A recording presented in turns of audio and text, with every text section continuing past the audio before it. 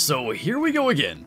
We are back in the New England Mountains multiplayer, still hunting for a Diamond Bobcat. And full disclosure, this is actually what I wanted to do yesterday, but there were literally zero New England Mountains servers open. So we went to Parque, and ended up having a great hunt. So kind of running with a similar loadout. We do have the 3030 and the 44. I'm still super excited about that model 1894 coming to the game.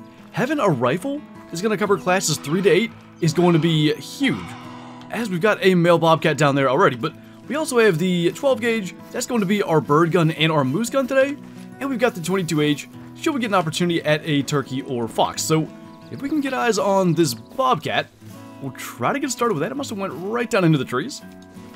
That's going to be our guy right there, a level 6. And the more I think about this, the more I think that rifle is going to be a huge deal. It probably depends on optics, but when you initially think about it, as we made a long shot, I think, and he just got stuck there, thinking about a handgun caliber in a rifle maybe doesn't sound that encouraging, but then you look at the ammo stats. It's really just because of the limited range that maybe the 44 isn't that used. I mean, 70 penetration and 16 expansion is really, really good, and that coming with a rifle with longer zeroing would be absurd. Where is this thing? Blends in really well laying in the water here. So just a brown bronze. That was an intestine shot and it brought it down that fast? First time we've seen the 44 not punch all the way through. But even at that, 23.6 to get us started. And hopefully we can encounter a good number of them today. Feels like every single hunt, we just get going, and we get a max estimate track, and here we go again. Onto a 35 to 45 kilo bobcat track, 9 minutes in. So I guess a good sign. Not that it's much different than most hunts, but better that than not finding any at all, I guess. That's probably our bobcats fleeing there. Might be in a spot we can actually see. A level 7. So not exactly what we're after. Maybe an opportunity for the 30-30 because it is a longer shot. Got a female out there warning calling as well. The only thing is, we don't have quite the power that we did in the 44. So we'll see if we're going to punch through to a lung or not. Two shots there. And either way, just best to get it down, quite honestly, but I wonder if either of those hit anything. I'm going to say... Sort of? We got a non-vital hit, so there was some penetration there, just not through to the lungs. And I won't harp on it, I'll just say it one last time. If there are optics on that 1894, just having that extra bit of power on a rifle, I just think that's going to make a huge difference. Now, would that have gotten through to the liver? I mean, maybe? And then the second shot was not even close, 25.91. Probably the smallest max estimate Bobcat we've shot in a while. But, to max estimate 1 getting started as many of these hunts do. This is getting ridiculous. There's another albino moose here, and they're just coming walking down here. Not sure, yeah, it's kind of the beginning of their drink time. Literally the exact same result as our last hunt. The only difference is, this time, we have to go with the 12 gauge slugs to take down a moose. So we do have the scope. Where does she actually get to? I don't know exactly where they're drinking at, but if they come across here, we've got a shot opportunity. She's attentive. How far can we zero this to? We should probably load it. That seems like a, a relevant part of this puzzle here. And we can zero to 75, so if we just get a touch closer as they move across, we could probably do this without having to track her. She's alert now, but in range? Last time we missed the heart. This time, we may have missed the heart again. I wasn't sure how high to aim on that. Almost might get a crack at this again. Depends if she kind of slows up. All the other animals are running to the right. I thought she would too. How interesting. And no long shot for the second time in a row.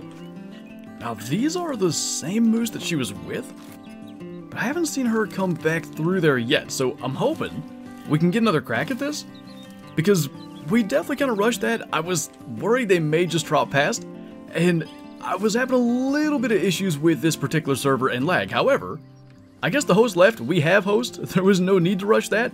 We should be fine. Oh, there she is. And hopefully we can be fine with a follow-up shot. So she's coming through there nervous. This time we're not going to attempt any kind of heart shots. If she could just get out of that circling loop, that'd be great. Just a broadside long shot is all we're looking for, so ideally we don't need to get up and alert her, and this should work just fine. even going to let her go a bit further here, just so we're not shooting through any kind of shoulder. I don't know what she is doing, and we may need to alert her just a bit, but this quartering angle is solid. That looks a little more like it, so 12 gauge slugs on round 2 to get the job done. And my wonder is, do we run into the same thing as last time? So in our last hunt, I believe we had the M1 as our kind of moose weapon for the hunt, and our shot was pretty much online. Could have been a little bit better, but it would have actually hit the heart with more penetration. I'm thinking that's not going to be the case here with the 12 gauge slugs. It was a 90 meter shot. Ooh. Yeah, a touch low, I guess. And the harvest screen's not always exactly accurate to what happened, but I don't know that that hits the heart regardless.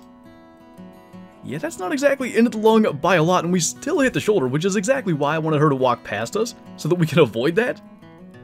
Kinda lucked out, I suppose, but always nice to get an albino. One of these days, maybe we'll get a rare moose that's a bull on these hunts. It just always seems to be a cow, but we shall take that as we move along. Just about missed this one. We've got a Bobcat rest zone, but as you can see, used by another max weight estimate cat. Now, this rest zone should be currently active, so I think it's around here. The only thing is, I don't see a single footprint, so could be interesting, but I'd like to think if we just kind of run around long enough, we'll just trip over a track because, again, it should actually be right here. Amazingly, that didn't take long at all, but two level 7 max estimate cats now. Rather unfortunate, and hopefully this time we can make a better shot with the 44. Now, we kind of slowed down there. That's going to slow him down, I would say, for good, though. Not bad. Get an angle where we don't have to shoot through the hind end, and we're back to normal. So this will be officially our first gold bobcat of the hunt. I think it's 0.01 smaller than the one that we whiffed on. We shot too far forward, got him right through the neck. We will take a lucky shot, especially after already messing up one. And hopefully we're getting just the smaller max ones out of the way first, because two level 7s, they gotta be the very bottom, basically, of that 35 to 45 kilo estimate to even be a 7. And we had two of those, that's not exactly what we typically see. Ooh. Was that just molting? I think it probably was. That was a kind of light-colored pheasant. Pretty sure it isn't a rare. Pretty sure he maybe managed to avoid those shots. For a second, I thought that was leucistic. No, we actually got him. So at least we'll get to see, I want to say it may have been gray. Not even molting, and that would be the case, so nothing crazy there, 12 score. Which, you know, when we kill 12 scoring Red Fox on Emerald Coast, it always leads us to diamonds, so hopefully that's going to be a good sign. Hit him with two pellets at 62 meters. Kind of just lucked out. Didn't have time to change the zeroing, it just happened to be zero for 75, but we'll take a little bonus kill and a little bit of adrenaline thinking that was a rare. So you can probably tell, lighting has changed a little bit. We actually uh, changed it to Bobcat Drink Time, just to kind of see if we can make anything happen. And thus far, all we've made happen are level 6s showing up. So hopefully there's a big one somewhere waiting on us. I don't know where that shot hit, but kind of made for an interesting animation trying to make up for what I think was maybe a low shot the first time. And from way back here, I can see that was Vital Blood, so definitely needed it on that follow-up just to get what I believe is going to be a gold. I think he was 23 minimum on that estimate. We got a Black Bear feed zone right where he dropped. It is a gold. Yeah, and oh, that wasn't even close on that first shot. Low and way too far back. Second shot, lung, liver, stomach, immediately drops it. Gray variation this time. And we're kind of getting up into what I consider the better area of this northern creek for bobcats. It's about 5 a.m. We should be able to get all the way to the east side just about at 6.30. It typically takes around an hour and a half in-game to get to that point. It's, in my opinion, the best place to look for bobcats. Hopefully there's a big one waiting on us, because thus far, a couple of big sevens is as good as we've done. It may just be a day of level 7 bobcats over and over again the whole way up along here. This is what we're encountering. Now, with the 30-30, at that angle, I kind of forgot to get stuck in the river, so I was not sure that would punch through too long, and it doesn't look like it did. Considering it's just kind of sitting there, we'll probably just kind of veer around and try to get a follow-up shot. I actually think if we gave that long enough, it would probably bring it down anyway, but just go ahead and get him down. Still got a little ways to go to get out through here, but it's just 7 after 7, no max weight estimate 7s this time, which may or may not be a good thing. I'm not even sure. So just quickly, how did... Oh, we got the very left edge of the skull. So maybe that would have pushed through and gotten along had we hit the shoulder? Just barely clipped that. 25.53 for that one. So barely any smaller actually than the couple of max estimate 7s we had. So maybe one last chance in a place I would not have expected. The only reason we got this track was because of the kind of fleeing call that you get. It looks like he ran right across the creek. I feel like he should be in view, I just don't see him at the moment. So we're down here on the west side of the map, and I was actually going to visit the lake where we got our big melanistic in single player for Whitetail. It is a mythical, so not going to be any kind of clutch diamond unfortunately today. Can we somehow clutch a decent shot on him with the 44? I think we just did. Not bad, and you know, it's encouraging to see big bobcats in other areas. Some of you guys may recall, in early access, I think day one of New England's release, we streamed this map, and there was a level 9 bobcat, like down in here somewhere, and that's the only one we have ever seen. Not only did it troll, but early access for New England did not carry over, so even if it made diamond, we still will not have a diamond in our trophy lodge. As for this guy, at least it wasn't another max estimate 7, 26.39, hard shot, at 98 meters on the move with that 44, a little bit of shooting redemption. Our shooting has not exactly been up to par today, but I think unfortunately, yet again, we've come to New England and are not leaving with a Diamond Bobcat.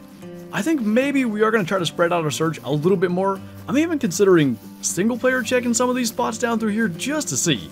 Because we've shot so many by now, and still no diamonds to speak of. But always good to leave a hunt with some kind of trophy, another albino cow moose that makes two hunts in a row on New England with that.